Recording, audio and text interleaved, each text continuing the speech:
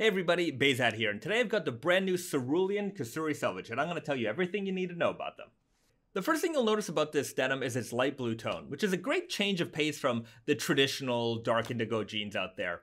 It makes for a great summertime jean. If you're living in a warmer climate or just want a great pair of jeans for the spring summer, these are definitely a great pick.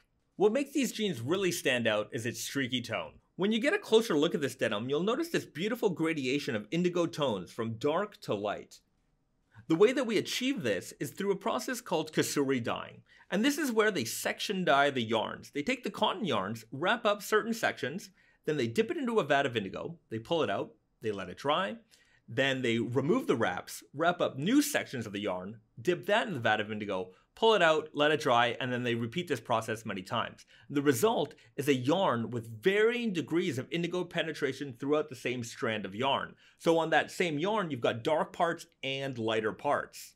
The fabric itself is a classic 12.5 ounce Japanese selvage denim with a red line selvage ID. You'll also find a navy leather patch on the back of the jeans along with silver metallic hardware.